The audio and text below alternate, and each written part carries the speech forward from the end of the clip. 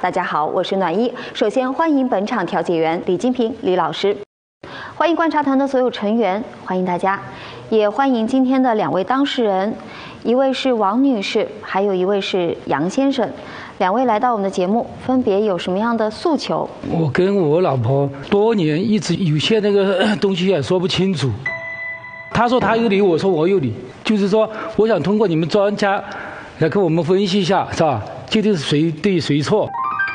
所以你还是希望你们的生活能够很好的过下去的，是这个意思吧？对，因为还有，毕竟还有一个小孩，一个六六岁的小孩。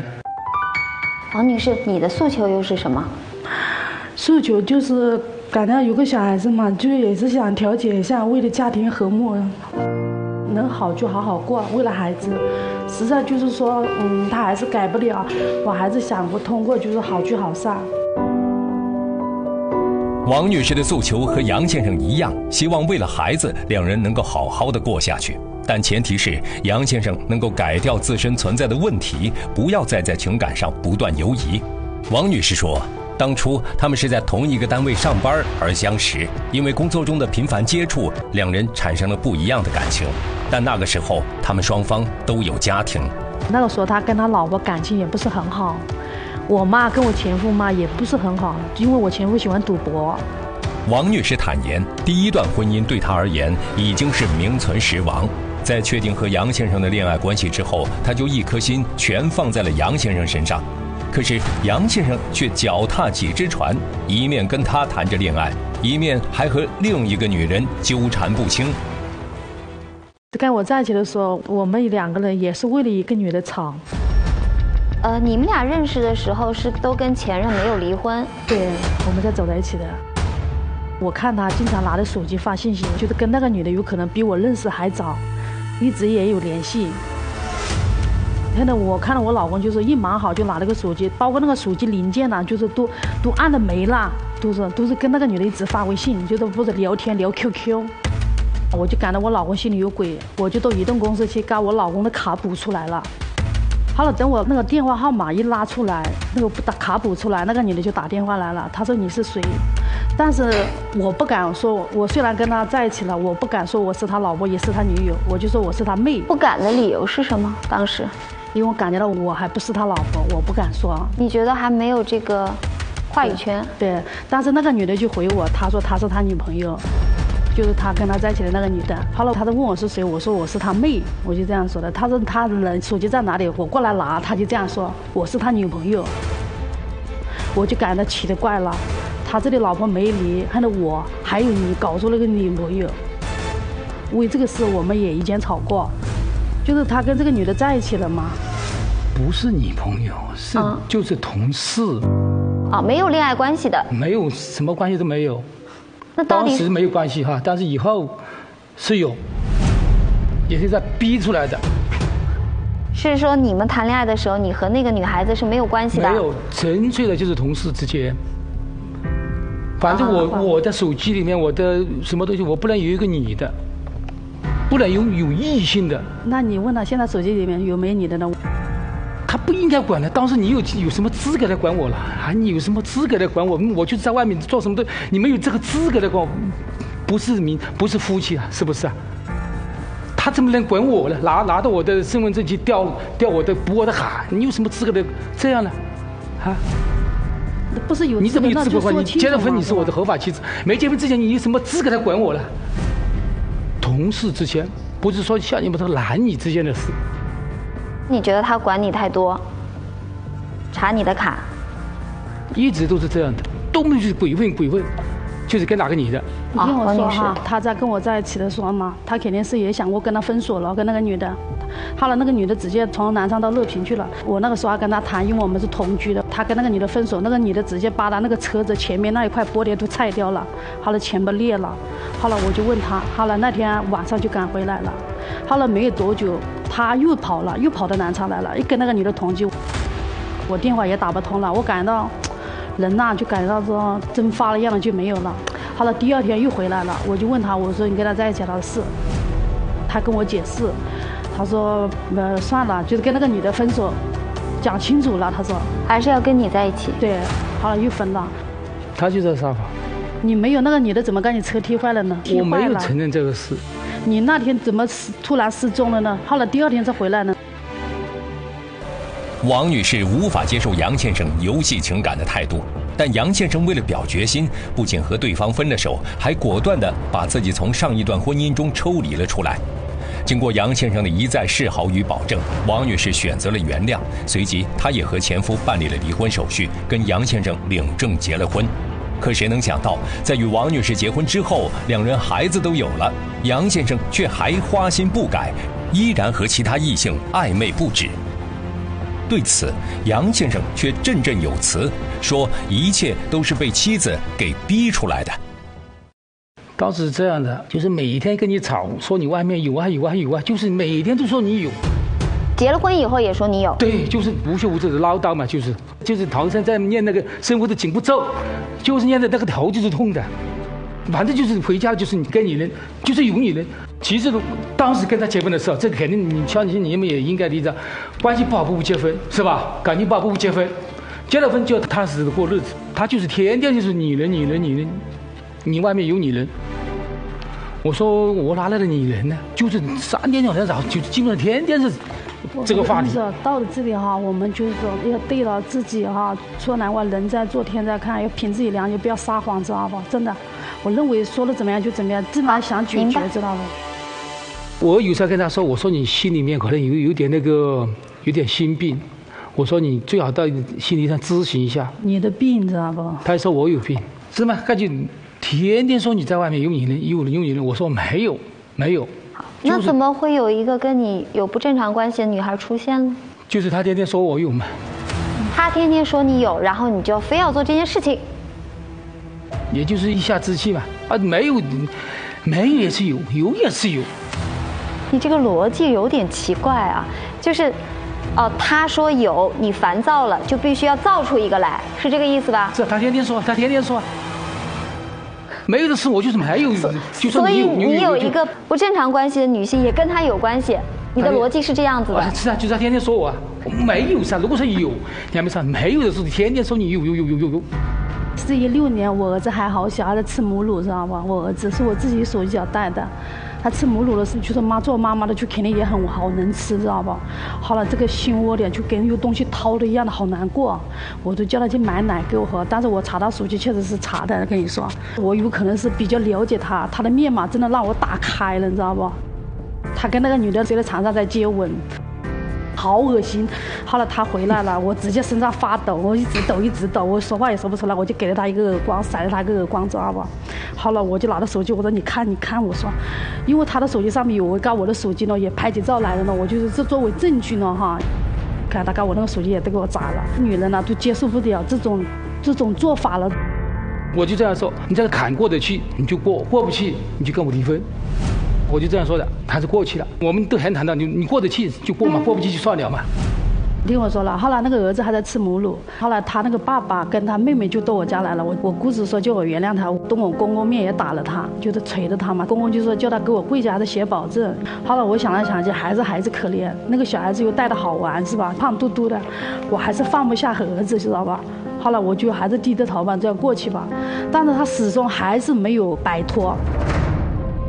在婆家人的劝说下，王女士心软了。而杨先生表面上虽然是说着悔改，背地里却暗度陈仓，和第三方藕断丝连。二零一八年，忍无可忍的王女士一怒之下选择了离婚。可因为放不下孩子，一个月之后，她又与杨先生复了婚。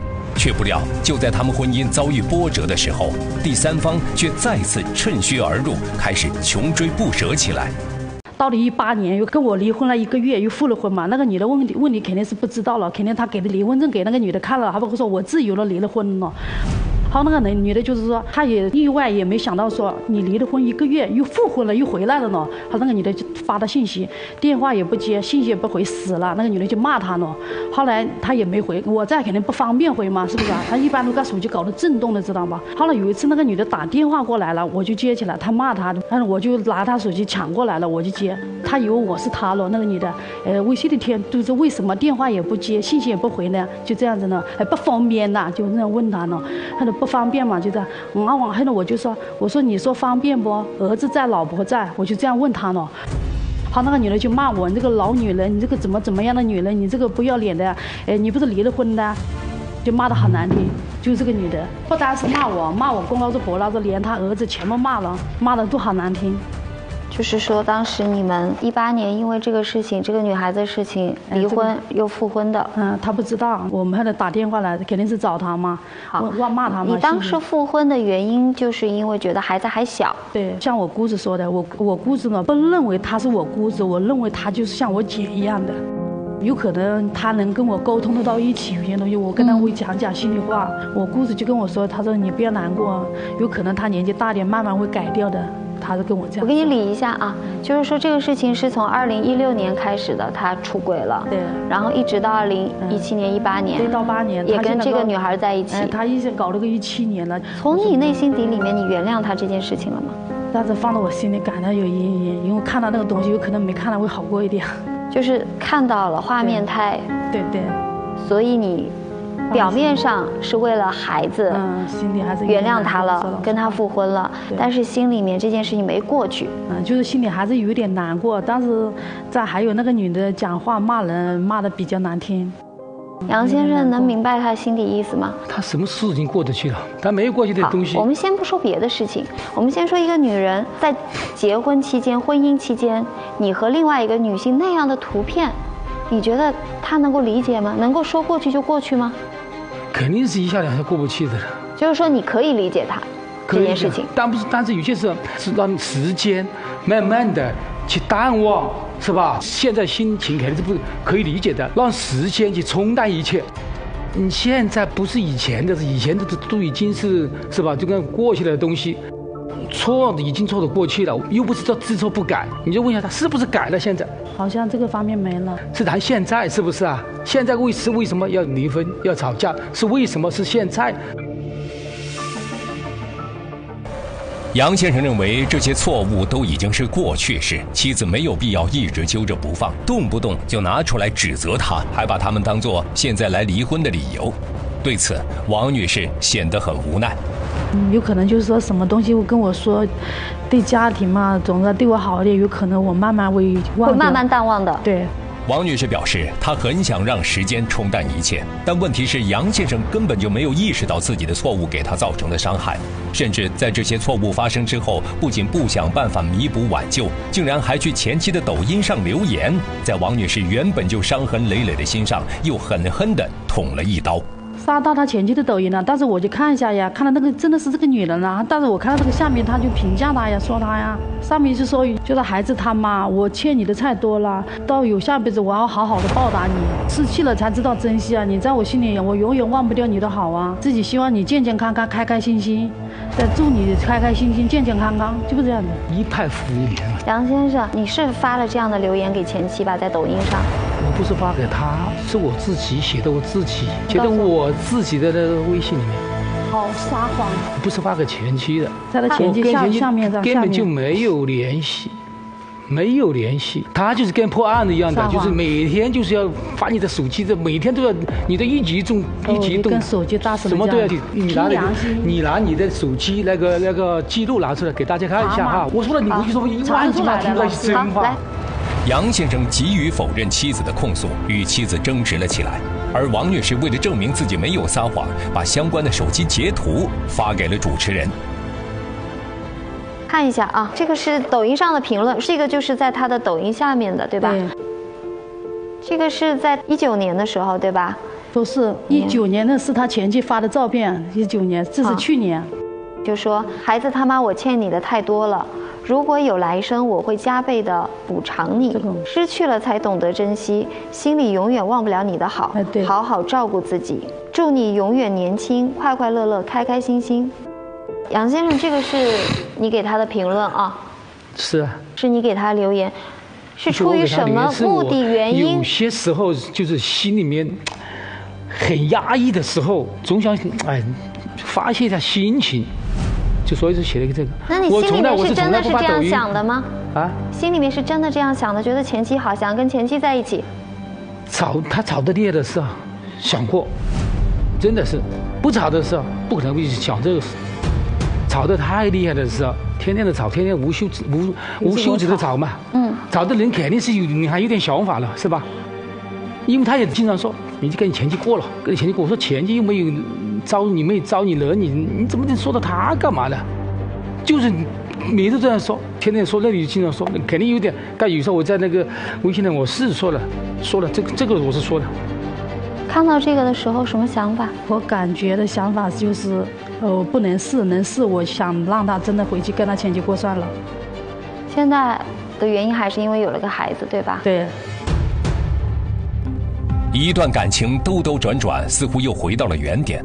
王女士逐渐萌生了放弃的想法。好聚好散。可杨先生不愿意就此放手，他认为这些事情的发生也不能全怪他，是妻子无休止的怀疑和唠叨，让他倍感痛苦和煎熬，才会一再犯错。那么，老师们会怎么看待他们之间的问题呢？婚姻中出现的这些问题，究竟谁的错误更多呢？调解员李金平毫不客气地指出，主要问题还是出在杨先生身上，而杨先生的抖音名字就透露了他对待感情的一贯态度。以你的抖音名字，足以说明你的心里顺其自然。什么叫顺其自然？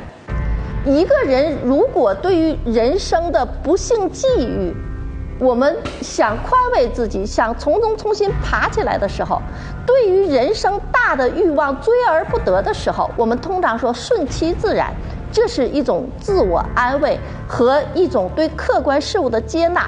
而你恰恰是在情感之路上顺其自然。什么叫顺其自然？就虽然我在婚姻之内，但是外边有人对我好，我就顺了。如果虽然有这个人对我好，还有人对我好，我也顺了，顺其自然嘛。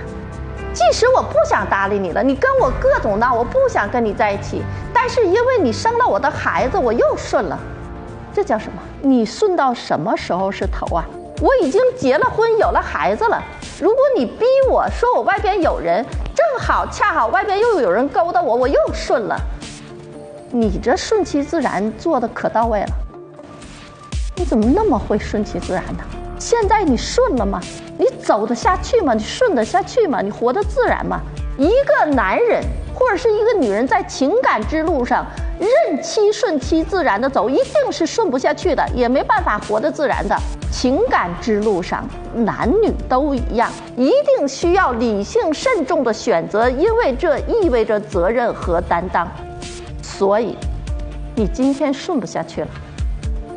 今天您二位都把过去那些不成熟的想法都丢在这个地方，好好收收心。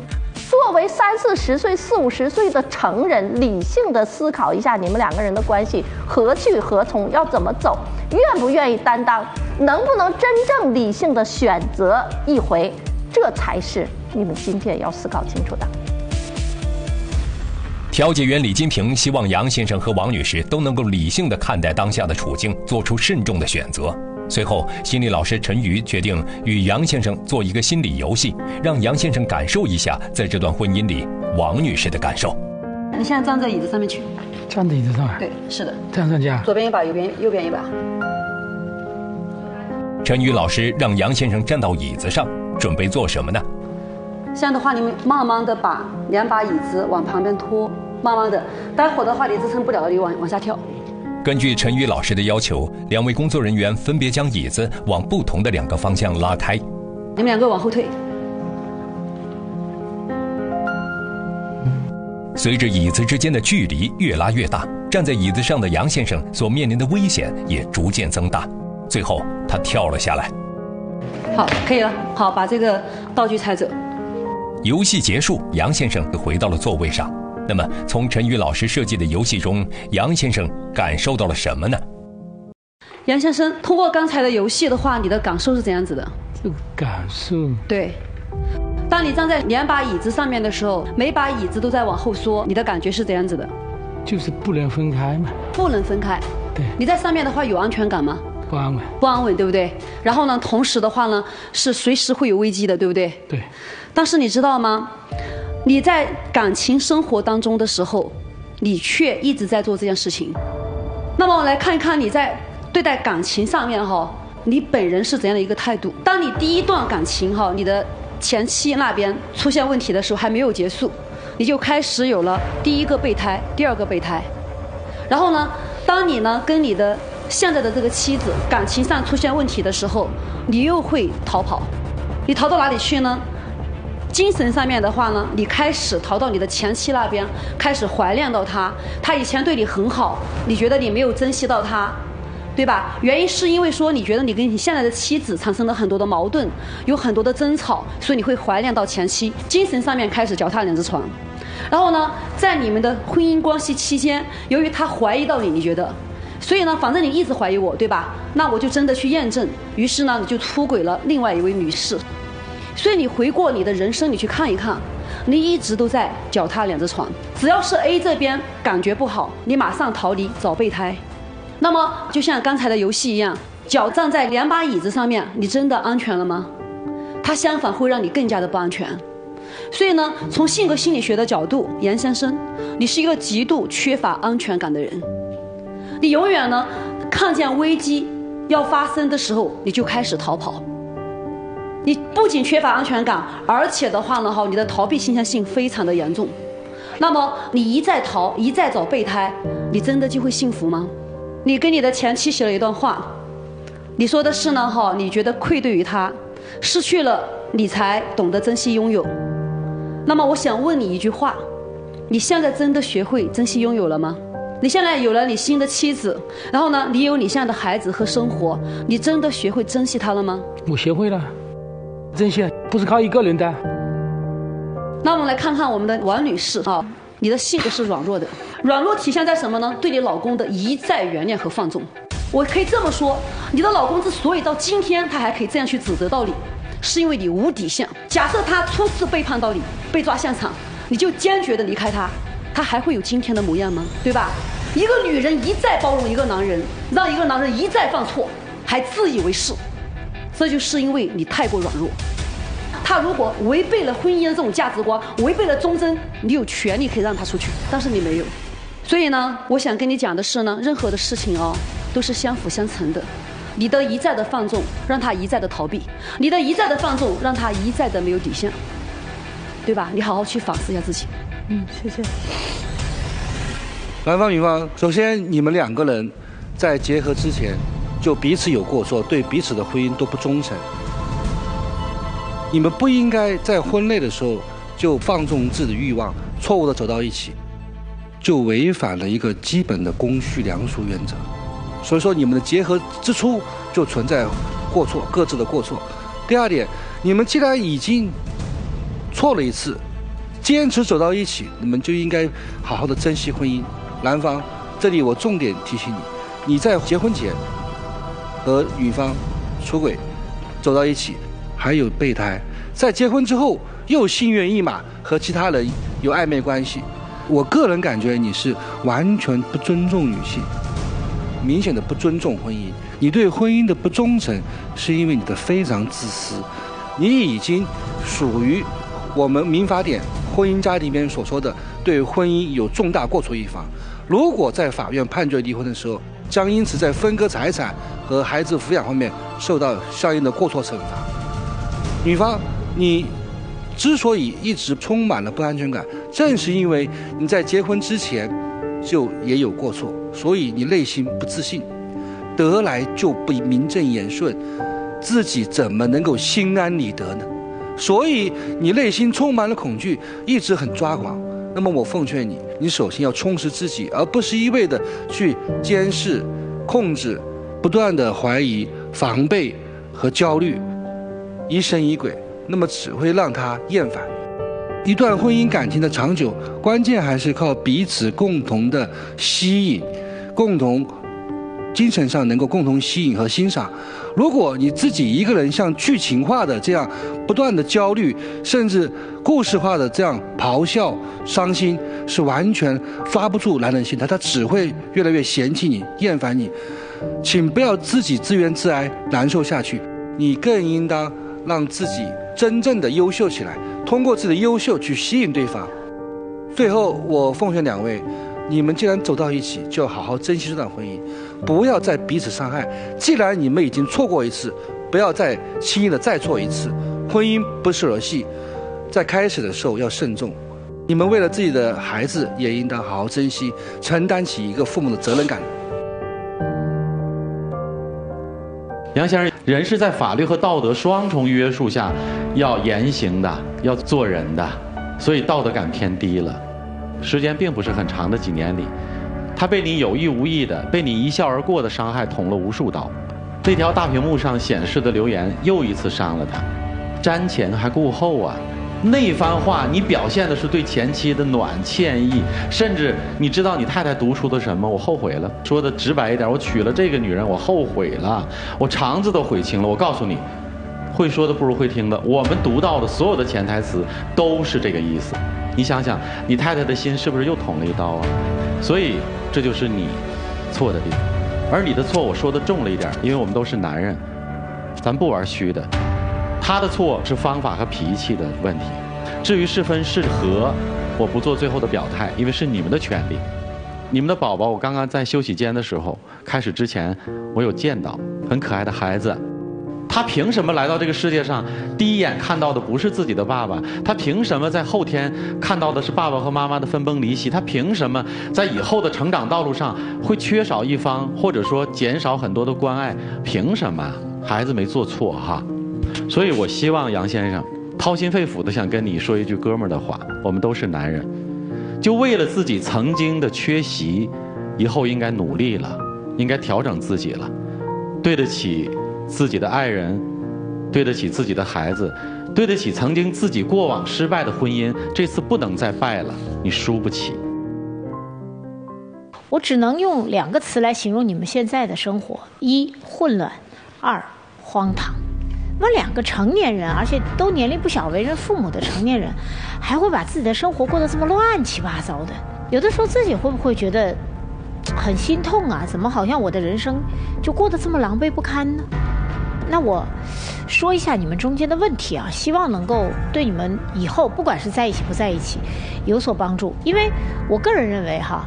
也许你们的这个婚姻，哪怕是有一天走到了结束，它只是你们混乱不堪的内心的一种反馈，或者说一种现实的折射。也就再换一句话说，你们即便是结束了这场婚姻，又去跟别人在一起，或者怎么样，你们的生活依旧会过得混乱不堪，因为你们的内心都住着一个混乱不堪的自己，一个不成熟的自己。我们先来看一下女方，我认为，呃，王女士身上的问题还是挺多的。一直都在寻找自己的身份感和价值感，那种被认同的感觉。按照你老公的说法啊，我借用他的话，就是怀疑也好，动不动就翻旧账也好，王女士，看过去都是他犯的错，但是我想说，这里面又有多少是你自卑的一种变形表现？所以啊，我们有的时候不要老从别人那儿找原因，有的时候我们回过头看看自己。我不是责备你哈，王女士，我是希望你能够明白，看一下这个问题是不是不是全是他的错。我内心的创伤从来没有被疗愈，这是我要跟呃王女士交流的一个部分。那么另外一个部分呢，杨先生，我对你，我不能用就是渣这个词来形容，我不认为你是那种。我脑子里定义的那种坏男人，或者是那种不负责任的男人，那我只能怎么定义你呢？你是一个特别现实的男人，哪儿让你待的舒服，你就想投向谁的怀抱；哪儿让你觉得轻松，你就想坐到谁的板凳上；哪儿让你能够觉得不再承担生活中过多的压力，你就想直接选择那条路走。所以。我们会发现，你永远在女人之间游移来游移去，始终没有完全真正坚定所谓的爱和方向。没有，因为对于你来说，人生就是一个我说的可能有点不太好听，一个投机取巧、趋利避害的过程。但是。你真的趋利避害了吗？这么多年下来，你真的避开了你不想要的，迎接了你想要的幸福生活吗？你这样来回去闪转腾挪，最后的结果是哪边都过不好，自己心里不舒服，老婆心里不舒服，整个家庭关系乱七八糟。所以，杨先生，我认为你不是一个坏男人，或者说那种渣男人，不是。但是你一定是一个在某些时候没有承担、避重就轻的男人。老师们的点评毫不留情，几乎都把板子打在了杨先生身上。王女士认真的听着，不时的点头，显得很认可。然而杨先生的反应却完全不同。他的诉求明明是想和妻子好好的过下去，但当老师们给他提出意见和建议时，他却显得不太愿意接受，甚至到最后还在重复着这么几句话。你现在不是以前的，以前的都已经是过去的东西，干脆再拿拿着以前的东西来谈这个事。我们现在以是认识现在，是谈现在，是不是啊？现在为是为什么要离婚要吵架？是为什么是现在？在杨先生看来，知错就改，善莫大焉。过去他所犯下的那些情感错误都已经成为过去式，现在他已经痛改前非，没有再犯。妻子之所以在今天还反复的拿出来强调，其实是有意掩盖另一个事实真相，一个促使妻子执意离婚的真相。那么，杨先生口中所说的真相，指的是什么呢？打了一个电话，他就没有接，就挂掉了。故意哎，故意我怎么怎么样这样，故意这样说两句。王女士为何要故弄玄虚？她极力掩饰的背后，又是否隐藏着什么不可告人的秘密？有些东西她也逼我逼的，我就说你把那个通话记录打出来吧，七天还是几天吧，教你一百个电话。